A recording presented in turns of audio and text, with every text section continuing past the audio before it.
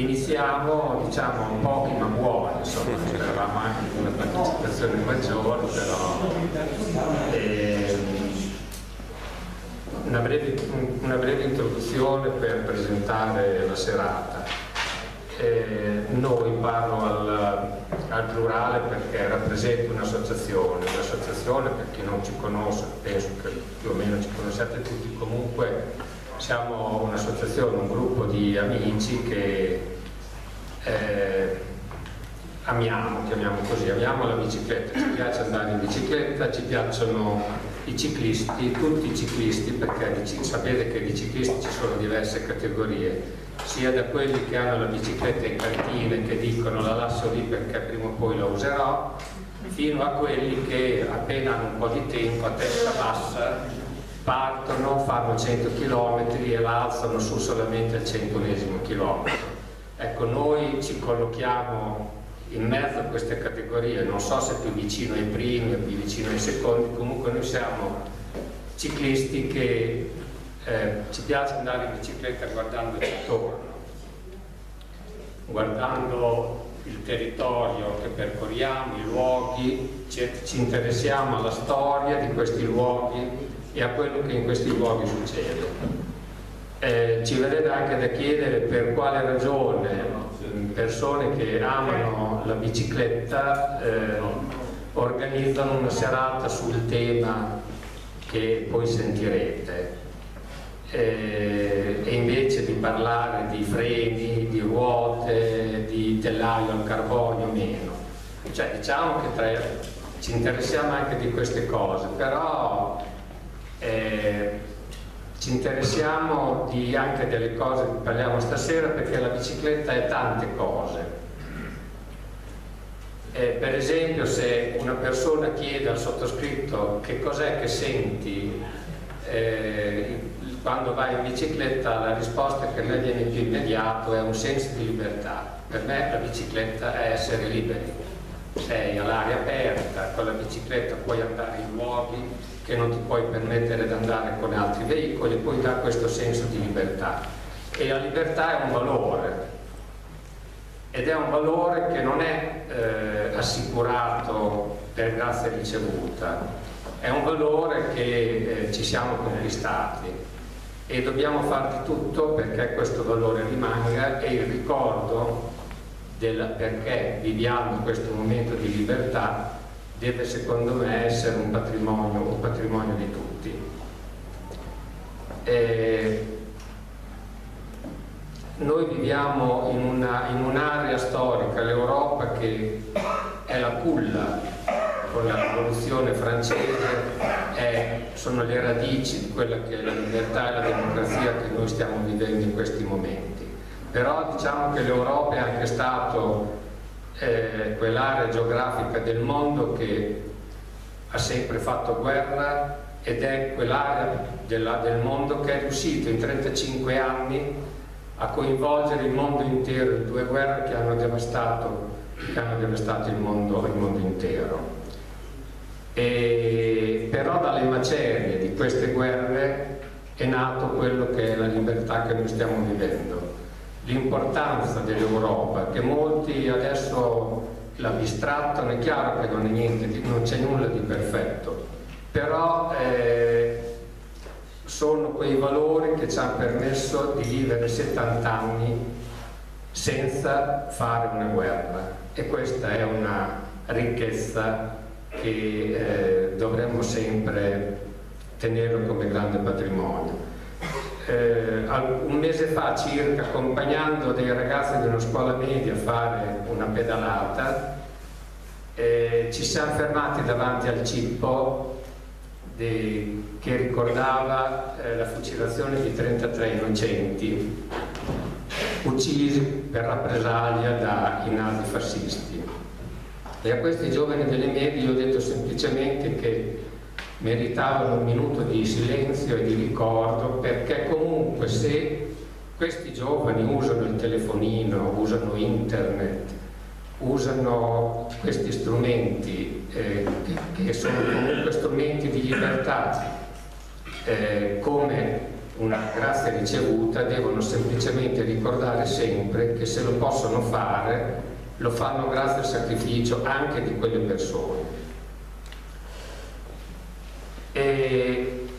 Un'altra, un'altra ragione è che la bicicletta è stato anche uno strumento che i più anziani si ricordano durante la, la, lotta di liberazione è stato uno strumento utilissimo, sono stati scritti libri, libri di storia sulle partigiane staffette che con la bicicletta portavano gli ordini e i messaggi tra le varie compagnie di partigiani.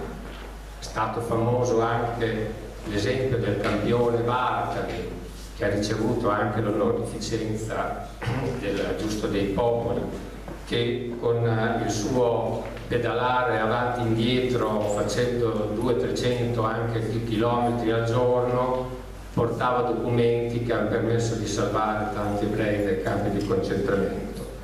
E per ultimo, e non per ultimo, è il nome che noi portiamo, cioè noi, la nostra associazione è Montesole e il nome che portiamo non è un nome a caso, è Selto perché eh, vogliamo che ci sia sempre il ricordo di quello che rappresenta per la nostra terra il sacrificio del ciglio di Marzabotto che si consuma a Montesole. Per cui queste sono le ragioni per cui noi crediamo che sia sempre utile in modo particolare per i giovani ricordare queste cose. Ecco, prima di dare inizio a, alla serata Ringrazio innanzitutto quello che è il factotum della serata, che è l'ideatore, lo sceneggiatore, il regista, il, il narratore, che è Oriano Caranti.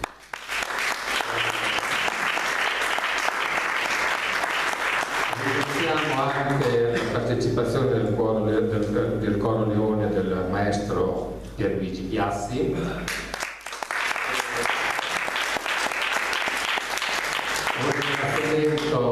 Agli attori perché così li consideriamo. Patrizia. Marisa Marco e infine tre musicisti giovani che sono Leonardo, Giulia e Luca.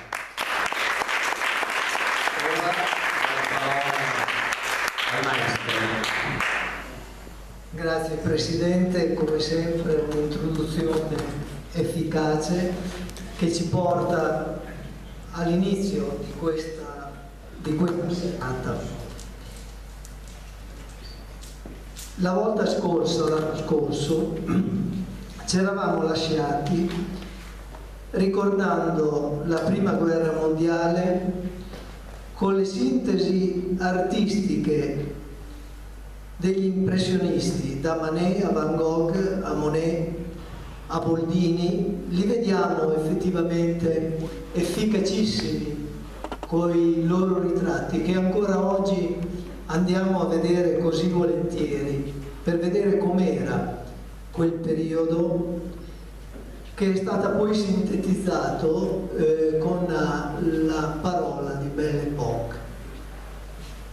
Ricordiamo anche che eh, Van Gogh con questo personaggio è stato estremamente sintetico ed efficace per chiarire a tutto il mondo perché era scoppiata la prima guerra mondiale al di là di quelli che potevano essere i rapporti economici tra le nazioni.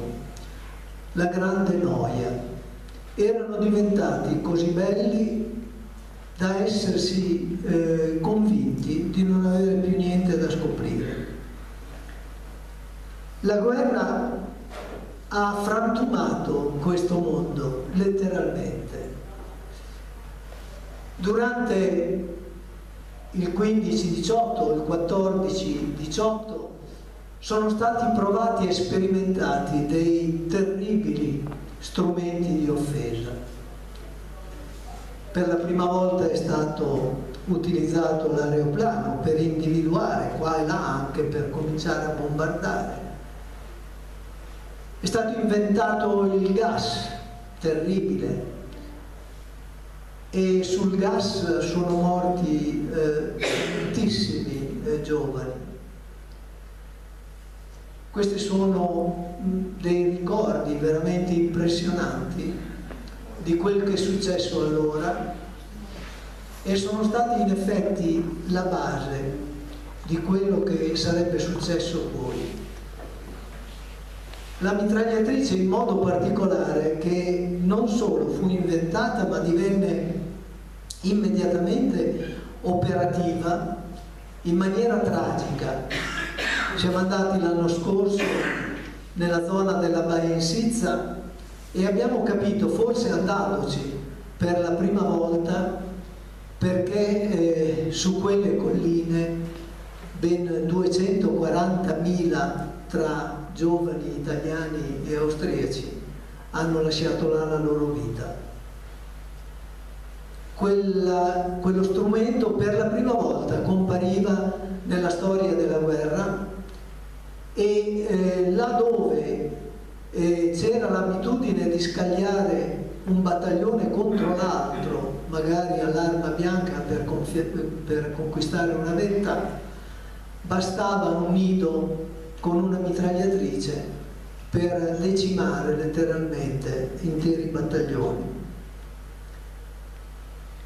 È stato anche inventato in quel periodo un mostro piccolino a quel tempo che eh, sulle pianure francesi si impattanò molto presto, non fu allora molto efficace, però di fatto dava già un'idea e un'immagine di quello che sarebbe stata successivamente la guerra lampo.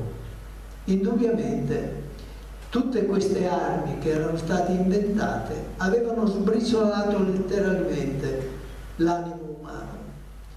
Il pennello dell'artista non è più capace, dopo quello che è successo, di dipingere soltanto un volto bello, si esprime andando a scavare nell'animo delle persone per vedere cosa c'era dentro a quell'animo l'immagine si scompone, si fraziona, diventa spigolosa. Eh, I tondi sono eh, uno vicino all'altro in eh, in una corsa eh, incredibile per andare non si sa bene dove. L'immagine di una persona da Picasso viene letteralmente scavata, orribile, guarda che ti vedo dentro, guarda come sei, non sei così bella come ti avevano fatto 40 anni fa. Proviamo a vederla. E poi c'è Monsi col suo urlo terrificante che dice svegliatevi uomini perché il mondo così non può andare avanti e li proviamo a vedere prima e dopo la terribile cura.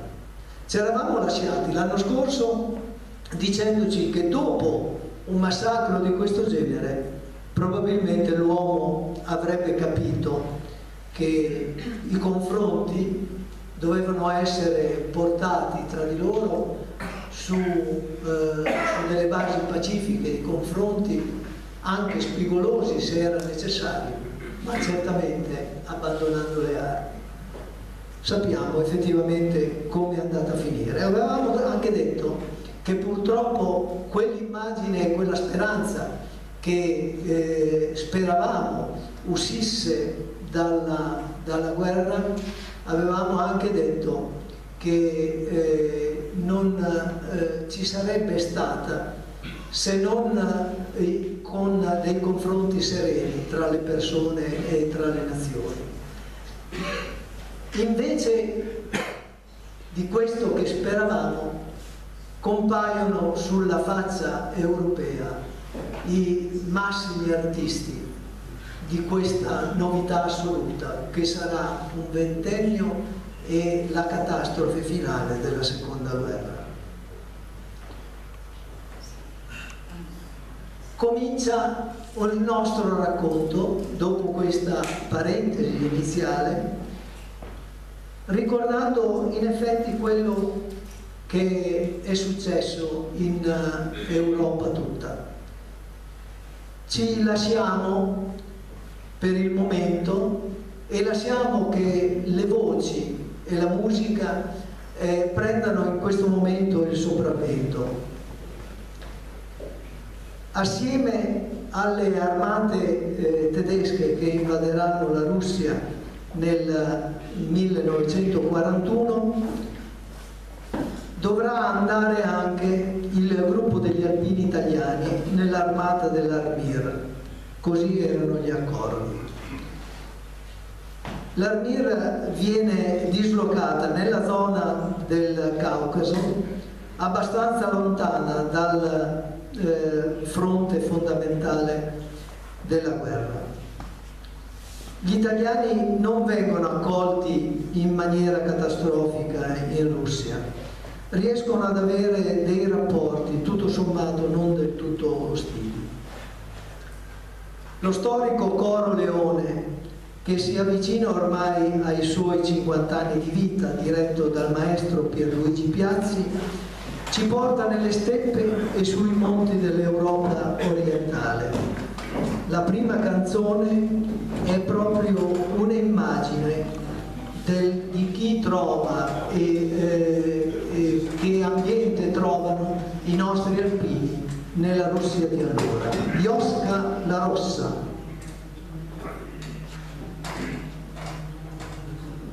Mm.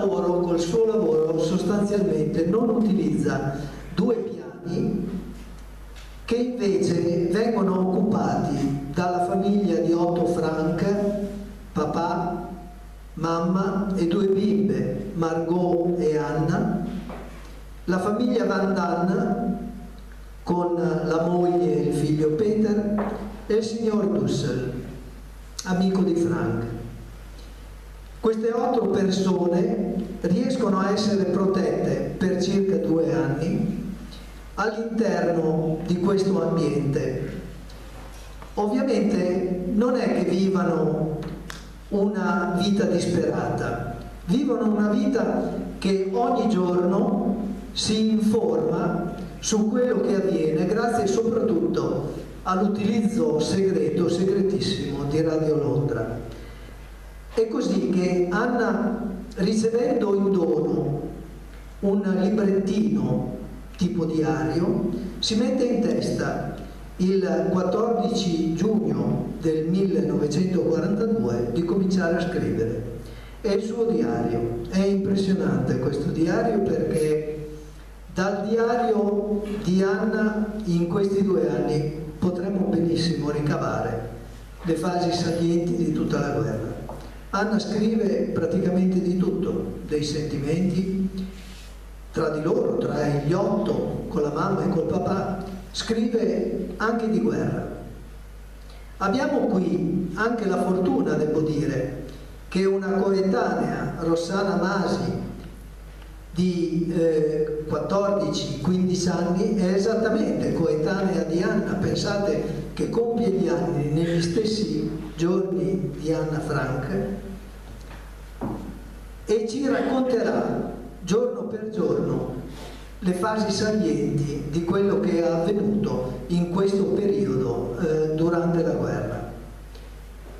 Gli ebrei sono nascosti in questo nascondiglio segreto e eh, sanno che uscendo dal nascondiglio corrono dei grossi rischi, ma soprattutto sanno quello che non devono fare. Da Rossana Masi, gli ebrei e il nascondiglio.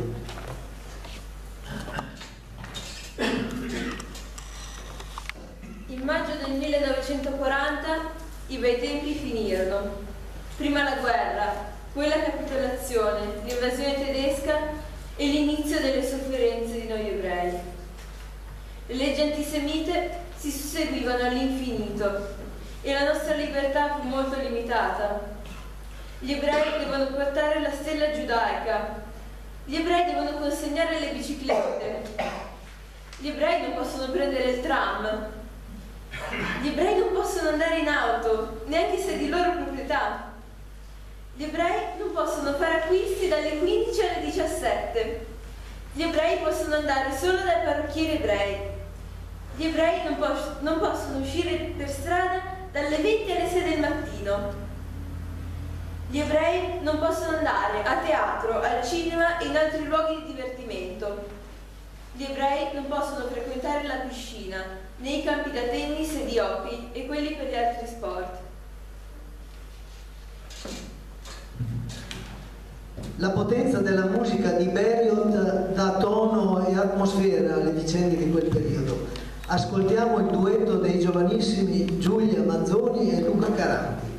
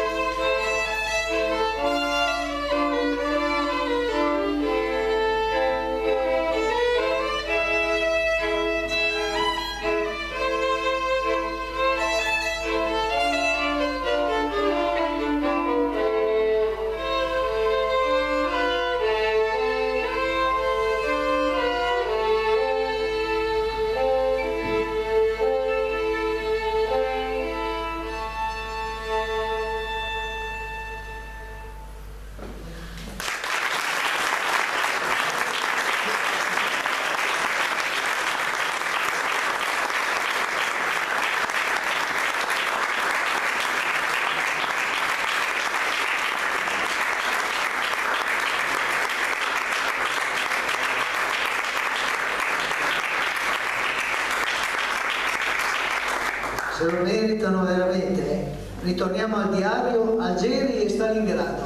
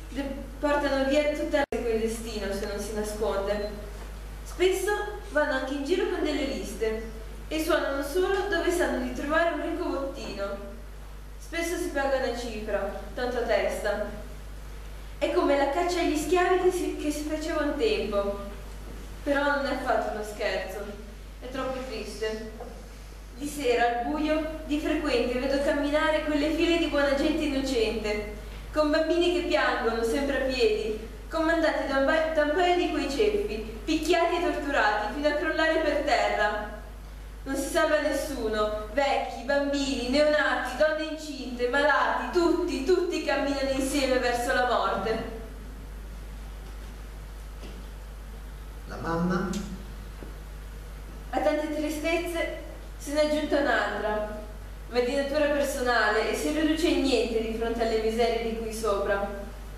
Però non riesco a fare meno di raccontarti che negli ultimi tempi mi sento terribilmente abbandonata Attorno a me c'è un vuoto enorme. Prima non ci badavo mai e pensavo solo ai divertimenti e alle amiche. Adesso penso a cose tristi o a me stessa. E alla fine sono giunta alla conclusione che papà, per quanto sia caro, non riesce a riempire tutto il mio piccolo mondo. Mamma e Margot già da tempo non abitano più nel mio cuore.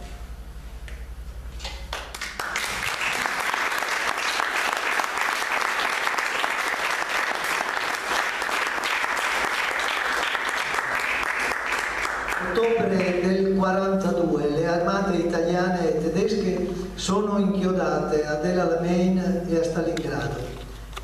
Cambia l'aria. Il mondo che si oppone al fascismo e al nazismo sembra poter capovolgere le sorti della guerra.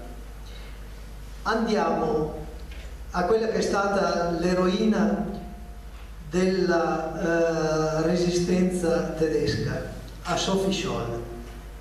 Dal lungo epistolario fra Fritz Hartnagel e Sophie Scholl ricaviamo notizie infatti e notizie e sentimenti importanti. A settembre 1942 Fritz con il suo battaglione viene dirottato su Stalingrado. Pare imminente la conquista della città e della sponda orientale del Volga. Infatti ci hanno dirottato su Stalingrado in appoggio alla sesta armata di von Paulus. Comincia a far freddo in tenda ed abbiamo pensato di costruirci un bunker, anche perché si è diffusa la voce che passeremo qui l'inverno. Malgrado i, fatti, fitti bombardamenti dei nostri Stukas, una testa di ponte russa resiste ancora incredibilmente su questa sponda del Volga se mi venisse incontro Hitler e io avessi una pistola, giuro che lo ammazzerei. Se non lo fanno gli uomini, dovrò fare una donna. E qualcosa bisogna pure inventare per non essere noi stessi colpevoli. Ieri abbiamo fatto una bella passeggiata a Geislinger, lungo il bordo della collina, attraverso una luminosa foresta di betulle e su una fantastica neve appena caduta. L'inaspettata resistenza russa fino alla lotta casa per casa ferma la sesta armata all'ingresso della città.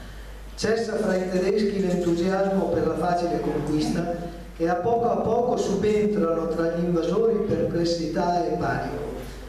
Il 19 novembre 42 dalla testa di ponte sul Volga parte la grande offensiva russa che porterà nel giro di un mese al totale accerchiamento dell'armata di Paulus.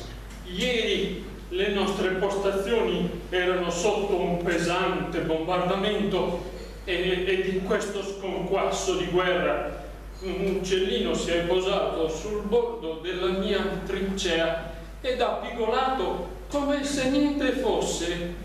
Non so cosa mi ha mosso in quel momento, ma l'ho interpretato come un tuo saluto. Anche la morte perde pian piano il suo orribile aspetto. All'inizio di gennaio del 43 Fritz aveva entrambe le mani congelate e i piedi erano così gonfi che egli aveva dovuto tagliare gli stivali e alla fine toglierli. Volgeva al termine la battaglia di Stalingrado e come ferito grave gli fu concesso di salire su uno degli ultimi aerei in partenza per l'Occidente. Verrà ricoverato in ospedale a Stalin. Diario. Mi trovo in una situazione di confusione e non mi riconosco più. Ho un senso di stanchezza, di tristezza duratura che sembra lasciarmi. Da Frisi non ho notizie dal 17 di gennaio. So che il battaglione è stato sterminato ed egli aspetta soltanto la prigionia o la morte. Ha entrambe le mani congelate perché per tutta la settimana è rimasto al gelo di meno 30 gradi. Tuttavia, la fine della guerra sembra essersi fatta più vicina. Febbraio, ultima lettera a Fritz. Sono felice di poterti di nuovo scrivere un breve saluto prima di correre a lezione. Sono passati 14 giorni dalla tua lettera di Stalino e mi sento un po' incerta quando mi rivolgo a te su come stai e quali sentimenti io possa procurarti. E tuttavia, sii sicuro, sono tutti d'amore e di gratitudine. Ieri ho comprato un meraviglioso ramo fiorito, sta sulla mia scrivania, davanti alla finestra. I suoi graziosi rametti muovono davanti a me i loro boccioli lilla. Mi danno una grande gioia e spero tu possa arrivare prima che sfioriscano. Quando verrai?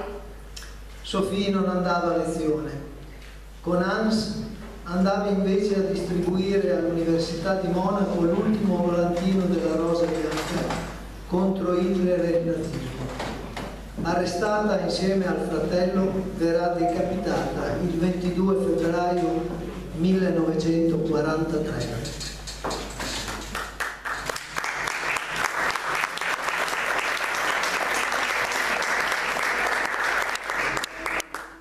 Cantico dei Cantici.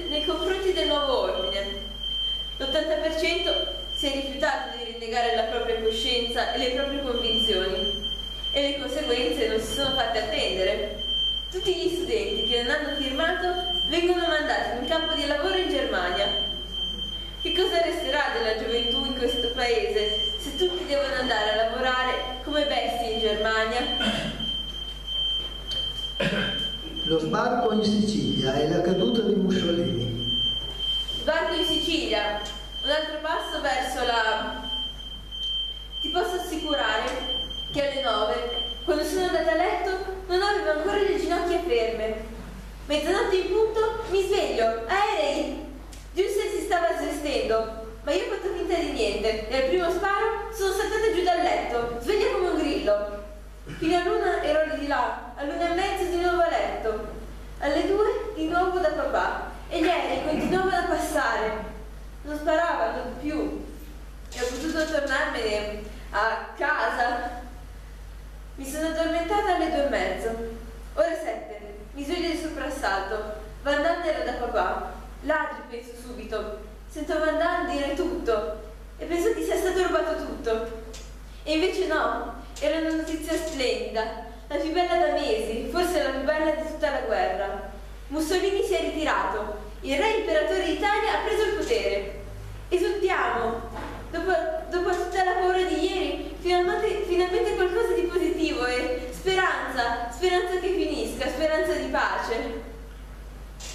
La resistenza.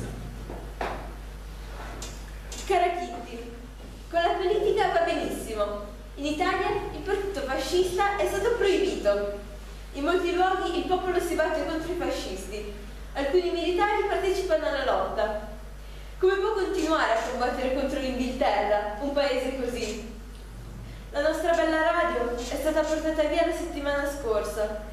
Düsser era molto, era molto in collera perché Kugler l'aveva consegnata proprio il giorno prestabilito. Ma una considerazione sempre più bassa di Düsser è già più o meno sotto zero. Tutto quello che dice di politica, geografia o altri argomenti è talmente privo di senso che non oso nemmeno ripeterlo. Hitler scomparirà dalla storia. Il porto, il porto, di Rotterdam è più grande di quello di Amburgo. Gli inglesi sono idioti non radere al suolo l'Italia con un bombardamento, eccetera, eccetera. E dopo? Dato che non hai mai vissuto una guerra, Kitty, e nonostante tutte le mie lettere sai ancora molto poco di quello che significa vivere nascosti, tanto per divertirti ti racconterò quali sono i desideri di ognuno di noi una volta che usciremo. Margot e il signor Van Damme desiderano più di ogni altra cosa immergersi in un bagno caldo e restarci per più di mezz'ora. La signora Van Damme non vede l'ora di mangiare paste. Giuseppe pensa soltanto alla sua Charlotte Mamma ha la sua tazza di caffè. Papà vuole andare dal signor Bosquil. Peter in città al cinema. E io, per la felicità, non saprei proprio da dove cominciare. Desidero più di ogni altra cosa avere una casa mia, potermi muovere liberamente ed essere di nuovo seguita nel lavoro, quindi tornare a scuola.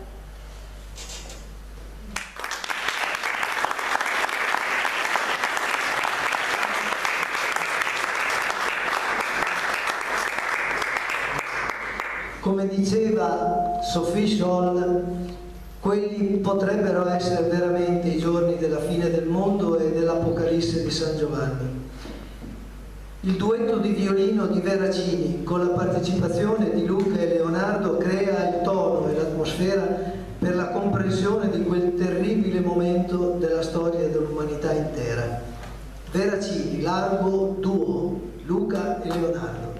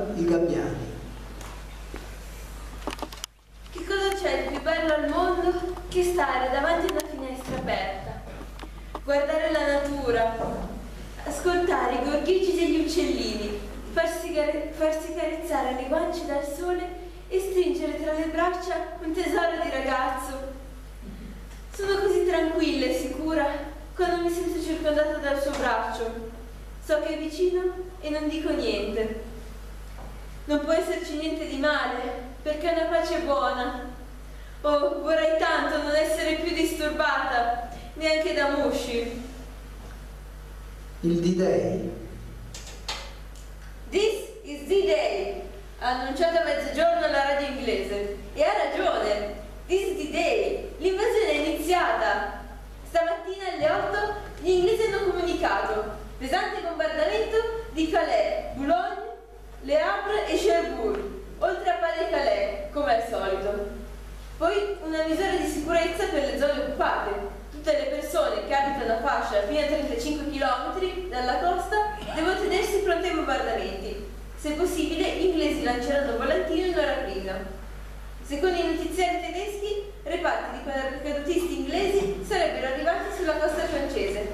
Secondo la BBC, navi da sbarco inglesi si scontrano con la marina germanica. Conclusione dell'alloggio segreto alle 9 durante la colazione. È stato uno sbarco di prova, proprio come due anni fa vicino a Dieppe. Trasmissione inglese in tedesco, olandese, francese e altre lingue alle 10. The invasion has begun. Dunque è l'invasione vera. Trasmissione inglese in tedesco alle 11. Discorso del comandante supremo, il generale Dwight Eisenhower. Trasmissione inglese in inglese alle 12. This is the day. Il generale Eisenhower ha, ha detto al popolo francese Stiff fighting will come now, but after this, the victory. The year 1944 is a year of complete Come era finito un paracadutista in quella notte. E chi andrà a Summer Grease vedrà ancora questo fantoccio che è ancora impigliato nel campanile della chiesa. Durante il primo attacco un paracadutista rimase proprio impigliato col suo paracadute sul campanile. 50 anni dopo il eh, tedesco mitragliere che l'aveva preso di mira e non aveva sparato lo incontrerà e i due faranno amicizia.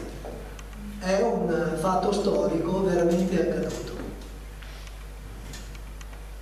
Il destino è la natura. Non è la mia fantasia che vedere il cielo, le nuvole, la luna e le stelle mi dia un senso di tranquillità e di attesa. È molto meglio della valeriana o del brumuro. La natura mi fa sentire piccola e mi dà il coraggio di affrontare tutte le avversità.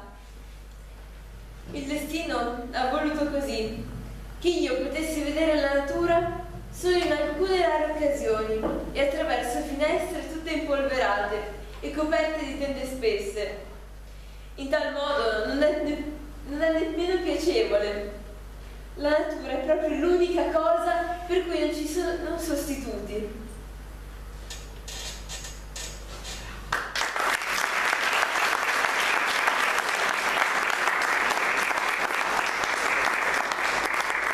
L'incubo della tragedia tutto travolge e raggiunge le nostre montagne. Con Jack Olsen andiamo a Montesole. La Steccola e Caroncadelli sono due piccoli borghi ai lati opposti del crinale, l'uno posto alle pendici di Monte Termine e di Monte Salvaro al sud e l'altro al nord, dopo Sperticano, proprio ai piedi della vera cima del Monte Sole. Con Patrizia, Marco e Marisa andiamo alla Steccola e a Caroncadelli. A ritrovare e a rivivere le vicende di Maria Tiviroli e Vittoria Negri.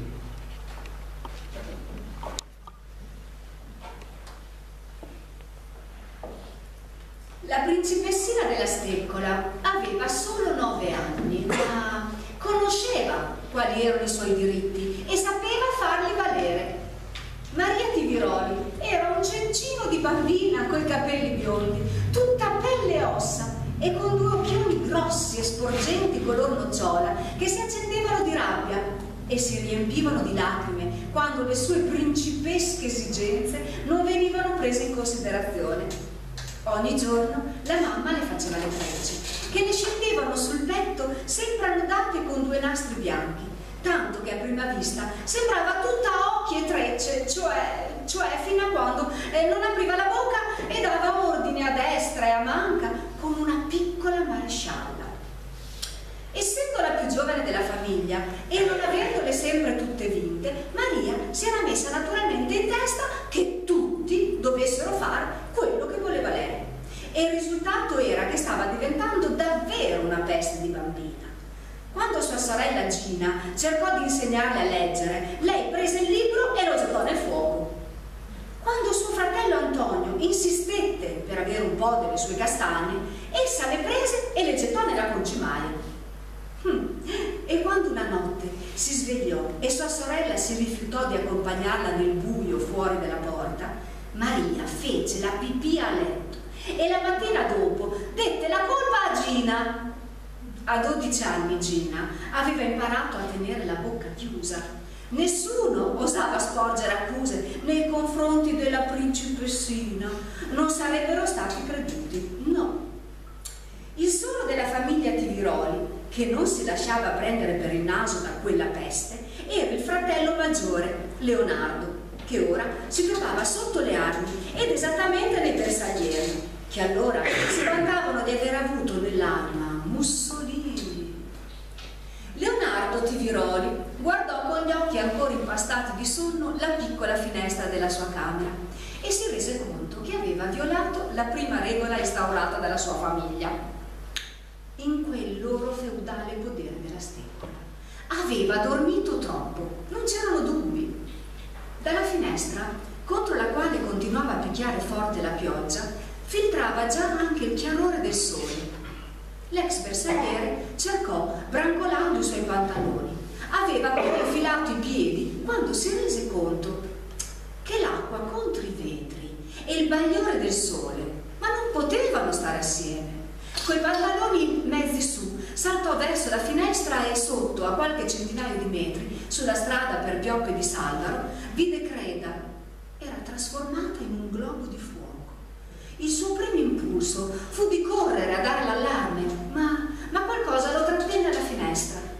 Quando da una stessa finestra una persona ha visto per vent'anni, ogni mattina, la stessa scena dell'alba, se c'è qualcosa di cambiato, ma lo sente, ma per istinto. A Leonardo si accapponò la pelle, guardò verso la stalla dove c'era una quarantina di partigiani addormentati, ma non notò nulla di strano. Poi gli occhi gli corsero al di là del crinale, al podere le scope, così chiamato per la buona saggina che gli cresceva. Aveva appena concluso che i suoi presentimenti erano sbagliati quando notò qualcosa che si muoveva dietro la siepe delle scope. Un attimo dopo vide quattro soldati tedeschi attraversare un varco della siepe a circa 400 metri da lui. Camminavano curvi e notò che portavano armi più pesanti dei semplici fucili e che avevano bombe a mano agganciate tutto intorno alla cintura. Corse a dare l'allarme. Maria Tiviroli, la bambina di nove anni, vagò per i boschi tutta la mattina del sabato in cerca dei suoi fratelli. Girò per tutti i nascondigli che conosceva attorno alla steppola.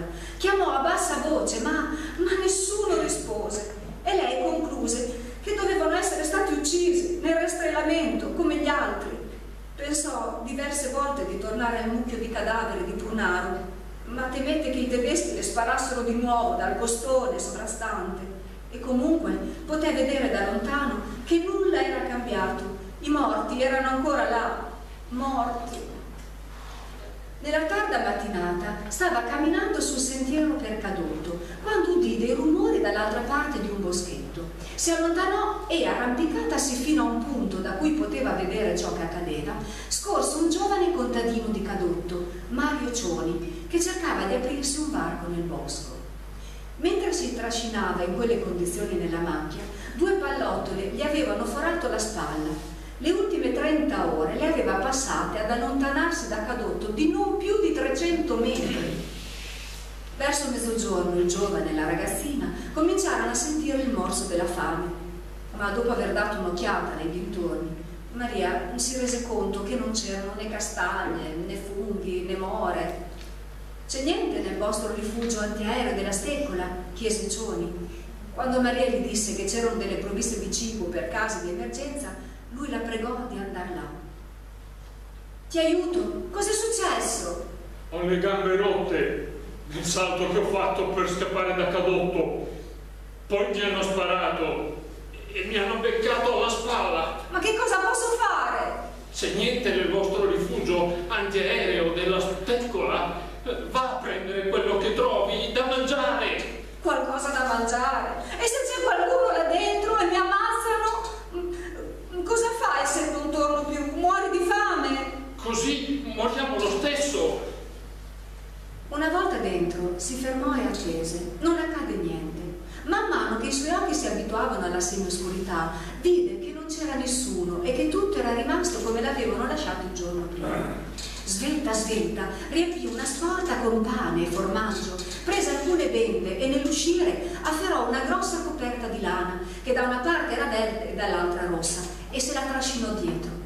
Mentre ripercorreva in fretta il tratto che la separava dal capanno, rimase sorpresa nel sentire sparare dei colpi dal crinale soprastante.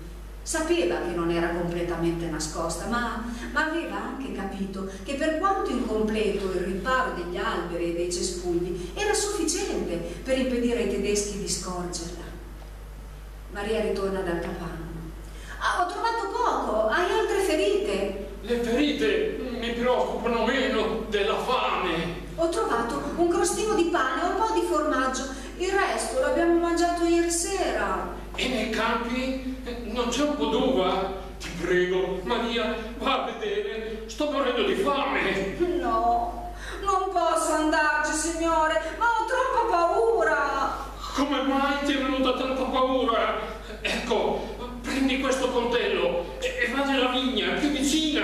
Ah, io ho paura. Mi vedo sempre quelle facce dei tedeschi. Se mi prendono non c'è bisogno che mi sparino. Mi basta vederli per morire. Tieniti nel bosco. Non corri pericoli lì. Non andare per la stradina e quando sei dalla, nella vigna stai dalla parte opposta a quella della strada. Così puoi vedere i tedeschi molto prima che ti siano addosso. Sempre tremando, Maria entrò nella vigna e si mise a cercare un po' d'uva. Sparsi qua e là, nascosti sotto le foglie, c'erano alcuni racimoli mezzi secchi, ma, ma quando fece per prendere il coltello dalla sporta, si accorse di averlo perso. Cominciò allora a strappare in fretta l'uva con le mani, ma tutto quello che riuscì a mettere nella sporta furono bucce, semini e chicchi mezzi spiaccicati. Chissà cosa avrebbe detto il signor Cioni ma i piccioni erano tenaci e cominciarono a farle male le mani, tanto che dalla disperazione si mise a piangere. Impiegò circa un'ora a riempire la sporta di racimoli e di chicchi d'uva nera, dopodiché riprese in fretta la via del bosco per tornare al capanno. All'uscita della vigna ritrovò il coltello e lo raccattò imprecando. Con sua grande sorpresa il ferito non smetteva più di ringraziarla, mentre si riempiva la bocca di chicchi e riuscì perfino a ridere della storia del coltello. Maria assaggiò qualche acino, ma era troppo sconvolta per poterli mangiare con piacere. Su, su, bambina mia, le disse Cioni, devi mettere qualcosa nello stomaco. E allora mangiò un po' d'uva, ma senza gustarla. Sapeva che se voleva vivere doveva mangiare, ma non era sicura che le importasse molto di vivere. Forse, se avesse potuto trovare gli altri della sua famiglia, sarebbe stato diverso. ma che sapeva se erano vivi o morti? Se i tedeschi ammazzavano le donne, i bambini e i nonni, eh, tanto più avrebbero ammazzato della gente valida come suo padre e i suoi fratelli. Cioni si era mezzo addormentato e Maria, sdraiata sulla schiena, guardava un gruppo di nuvole rossastre passare lentamente sul sole. Si ricordò del vecchio proverbio, nuvola rossa o piscia o soffia. Dal giorno in cui erano arrivati i tedeschi, il sole si era fatto appena vedere e ci sarebbe stato un altro giorno di pioggia, ma alla principessina della steccola tutto questo non importava. Tirò fuori i suoi santini e mentre li guardava fissamente sentì avvicinarsi qualcuno. E sveglioccioni, poi corse a nascondersi dietro il capanno. Ma subito tutti e due riconobbero la voce di un contadino del vicino podere di Cadorino che chiamava suo padre e i suoi fratelli. Avete visto i miei? chiese Maria. Mi dispiace di doverti dire che, cominciò l'uomo.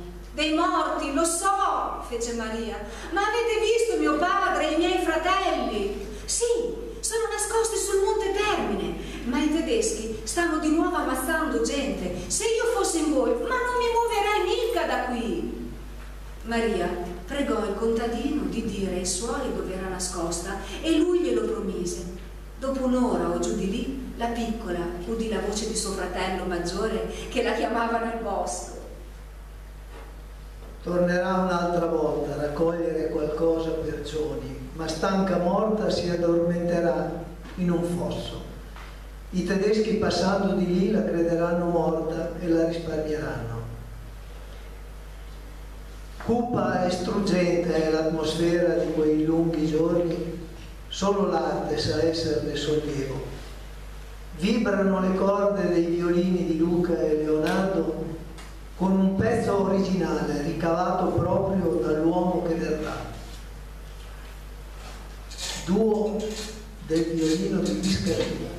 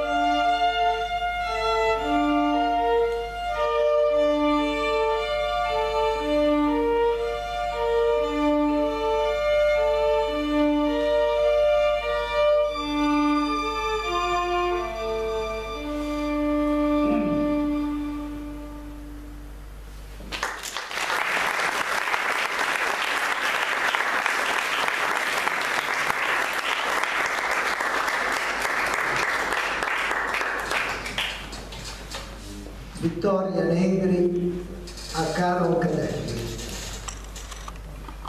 Vittoria Negri stava girellando per la casa come se quello fosse un giorno come un altro. A 26 anni era il sostegno della sua famiglia. La conformazione esile, il naso dritto, le belle orecchie e i lunghi capelli neri con riflessi di rame le facevano il non plus ultra della femminilità. Ma lì al podere tutti sapevano che Vittoria non ci pensava due volte a caricarsi sulle spalle un sacco di farina da mezzo quintale e portarselo su per le scale, oppure a dare due sberle a qualche casanova troppo focosa. Era una di quelle donne che per strada camminano sempre in mezzo e quando i ciclisti se la trovavano davanti potevano suonare finché volevano, ma dovevano scansarsi loro e ora passavano i loro giorni nascosti nei boschi. I vecchi genitori di Vittoria avevano dovuto appoggiarsi sempre più alla loro forte e imperturbabile figliola. Era il 30 settembre 1944, sabato. Le passé da qui un partigiano, Aldis, chiama tutti. Sì, mamma, ho incontrato quel partigiano, ma lei è un stiamo tranquilli. In tutti i mood hanno preso il case la sera sportervi tutti i nostri uomini in Germania. Voi, Fernando, Fer e Dante, dovete andare nei boschi e non tornare fino a stanotte. Per noi non ci sarà pericolo. Vittoria tornò nel salotto per vedere cosa poteva fare per i suoi vecchi genitori. Stava dicendo loro di non preoccuparsi, quando si udì un gran frastuono alla porta di casa e irruppero quattro SS guidati da un ufficiale armato di pistola. Su strada trovate il vostro cavallo, ma non avete sella. Ma io non so sella. Noi cercare sella. Di chi essere questo capello? È, è di mio fratello. Dov'è fratello? Lui, lui è, è, è Schreiben nel comune di Marzabotto. No, lui nascosto, essere partigiano. No, no, lui camerata, è lui essere camerata. Dove essere partigiani? Io non so dove sono i partigiani. Allora! In quel momento, tra parenti e sfollati, erano in 22 in casa. Il tedesco li stipa tutti in una stanza, esce e chiude la porta a chiave. Non sent più niente, gli andevi tutto, ma vanda avanzare qui, Axel ha detto al comandante, bisogna campagna prisarmao. Ma, ma, ma, ma appi che fuga la Spagna! Ma sta zitta! Ma le SS avevano udito e con il mitra in mano aprirono la porta della camera e ordinarono a tutti di lasciare la casa. Fuori SS da ogni parte. Vittoria sentì dietro di sé dei rumori confusi. Si girò e vide che due nazisti stavano costringendo una giovane donna che si dibatteva a unirsi a loro. La riconobbe. Era una giovane sposa, Lina Casalini. I tedeschi la spinsero nel gruppo, che divenne così di 23 persone. Raus, raus, gridavano i nazisti. Li fecero incamminare tutti verso il fosso. Alcune SS li seguivano da vicino. Vittoria si portò davanti a tutti, affrettò il passo e due ragazzi di dieci anni, Nino Amici e Sereno Zagnoni, la raggiunsero e le si aggrapparono alla gonna. Dietro a tutti c'erano i vecchi genitori di Vittoria. Essa fece per guardarsi un attimo alle spalle quando sentì partire il primo colpo. Avevano sparato all'ultimo del gruppo e suo padre cade a terra con un tonfo. Un secondo sparo, cade a terra anche sua madre. La gente immediatamente affrettò il passo, poi tutti cominciarono a correre come impazziti. Vittoria spinse i ragazzi nel fosso e al primo sparo scappò su quelle pendici di Montesole. Aveva corso per una trentina di metri attraverso una vigna quando le prime pallottole cominciarono a bucherellare il terreno attorno a lei, come chicchi di grandine. Capì di essere ferita, ma il dolore ebbe su di lei un effetto stimolante e volò su per Montesole più veloce di quanto non avesse mai fatto in vita sua. Affondò la testa nella terra, cercando perfino di non respirare, e intanto continuava a ripetersi, quale sarà la mia sorte? Quale sarà? La sparatoria cessò. Vittoria rimase per diversi minuti sdraiata per terra, sul fianco del monte sopra Caroncadelli. Cominciava a riaversi piano piano quando sentì giungere dal fosso al di sotto delle grida. Ebbe paura, poi si disse, babbo e mamma sono morti, li ho visti io morire, non mi resta più nulla, se muoio, muoio.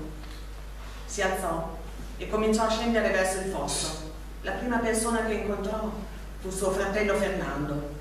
Vittoria, sei viva, tot quieto, tot morto. Guarda, i nostri dovici, abbiamo tirato tot fiume. Guarda, che ti che ne fa? Cose così non sono mai successe, sorella, non esistono. Sono cose dell'altro mondo. Videro il loro fratello Orfeo, che era zoppo, a tirarsi su. I tre scruttarono nel mucchio dei corvi.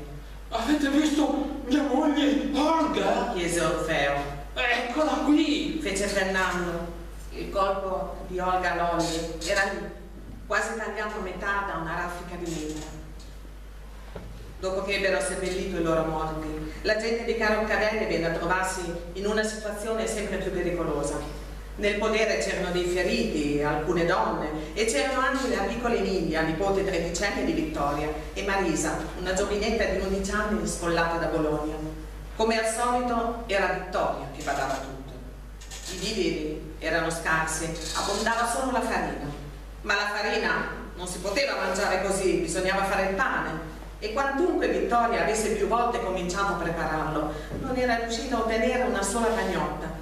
Quando i tedeschi erano nelle vicinanze, non si azzardava nemmeno a accendere il fuoco per paura di tirarsene in casa. Ma, ma voglio fare l'ultima follia prima di impazzire del tutto. Fernando, tu vai giù per i castagni fino in fondo alla strada e sta attento che non vengano i soldati. Tu, Dante, vai di sopra, verso la montagna e fai la guardia da quella parte. E tu, Orfeo, stai attento e vai verso i campi e verso il fiume. Non mettetemi in allarme se i tedeschi non sono proprio diretti qua. Devo fare un lavoro importante. Marisa, Emilia, cercate un po' di stecche che accendiamo il forno. Fece il pane per tutta la mattina. Dopo qualche ora il buon odore di pane fresco riempì l'aria tutta attorno. Nelle prime ore del pomeriggio erano già freddi e pronti 35 pani e Vittoria mandò ad avvisare i suoi fratelli di guardia. Nel giro di qualche secondo alla porta di dietro c'era una lunga fila di uomini con la barba di non si sa quanti giorni.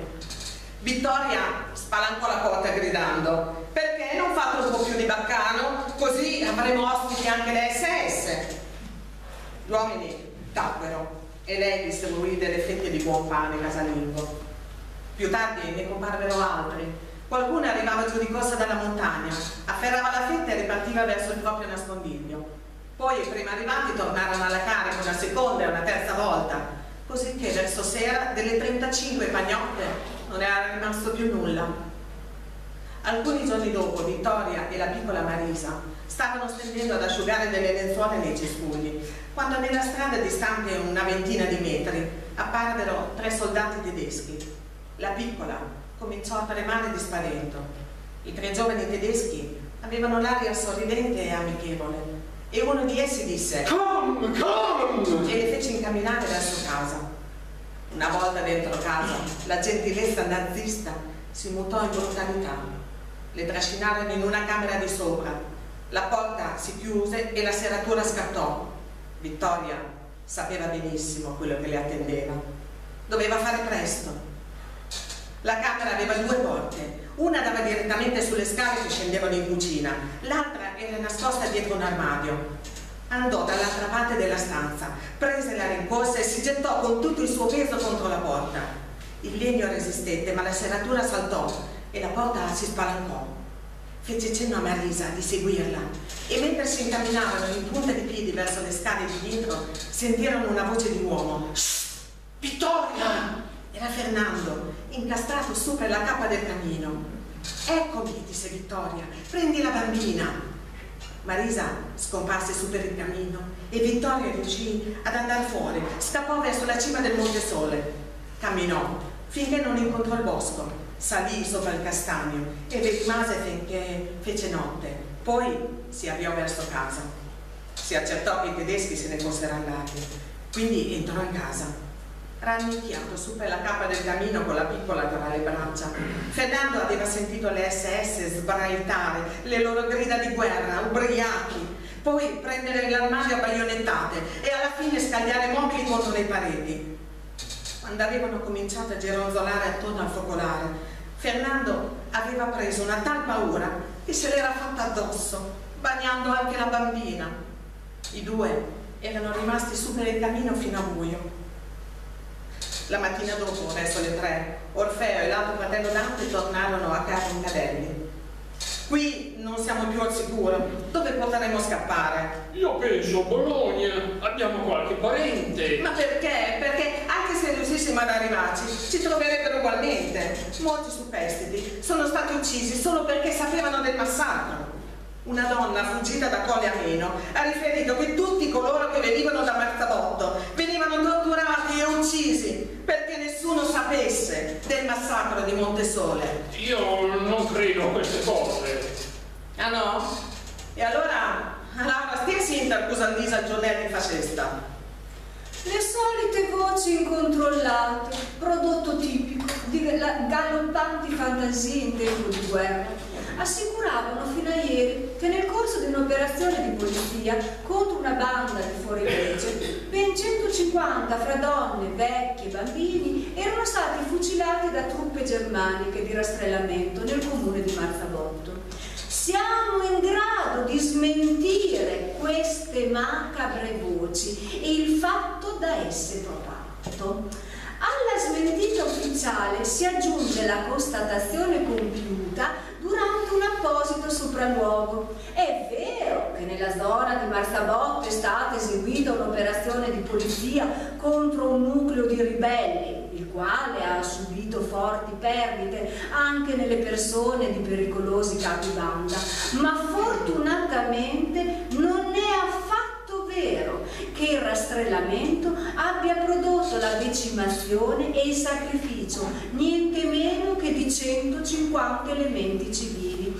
Siamo dunque di fronte a una nuova manovra dei soliti incoscienti, destinata a cadere oh, nel ridicolo, perché chiunque avesse voluto interpellare un qualsiasi onesto abitante di Marzabotto, o quantomeno qualche persona reduce da quei luoghi, avrebbe appreso l'autentica versione dei fatti. Mm? Volete capire o no che tutti, che, che chiunque possa smentire questa versione era da morire? Le stragi sono finite. Qui, tra quel due sarà tutta una battaglia con l'avvicinarsi degli americani. Quando cominceranno i combattimenti, nessuno si occuperà più dei civili. Bene, fratelli, me hanno bella bossè. Femo quel capper. Me acciata a sentir e aveva incontro agli americani.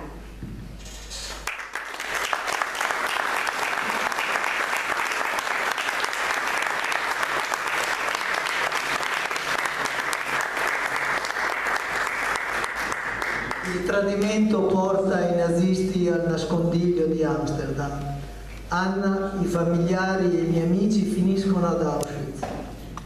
Anna verrà poi trasferita, ormai molto malata, a Belsen-Belsen, nel nord della Germania. Morirà di tifo, magrissima e disperata.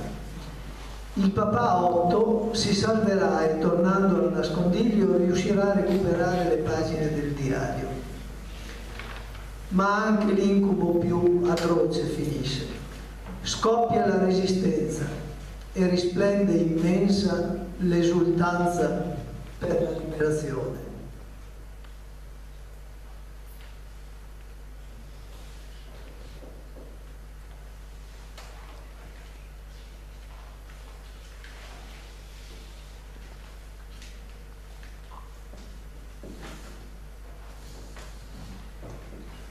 Ma prima di arrivarci assistiamo all'ultimo infame episodio di Berlino. L'ultima armata tedesca sarà formata di bambini dai 12 ai 15 anni. Questi ragazzi dovranno andare incontro alle armate russe che stanno ormai occupando la città e qui vediamo le ultime immagini di quel terribile momento dell'aprile del 1945. Così era non soltanto Berlino, ma anche le nostre città, molte delle nostre città. È opportuno che i più giovani sappiano di quello che è successo, sperando effettivamente che una volta per tutte la parola guerra venga cancellata. Non sembra che il mondo l'abbia capito neppure stavolta, però almeno noi in Europa, come, diceva il nostro Presidente, almeno 70 anni di pace li abbiamo goduti. Eccoli qua, gli ultimi eroi di quell'armata che fortunatamente poi è stata rispettata e salvata dalle armate che stavano invadendo la Germania.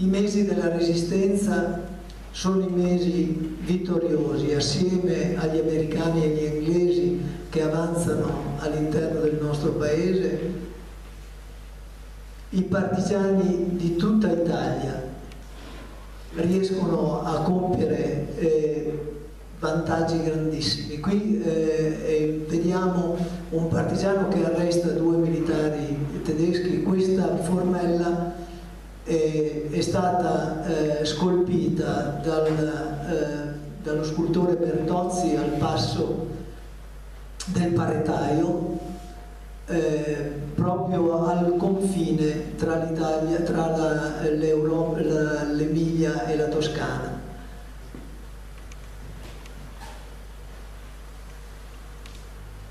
Queste sono alcune delle immagini finché effettivamente il 21 aprile a Bologna e il 25 aprile un po' dovunque in uh, Italia c'è veramente la liberazione e la grande gioia.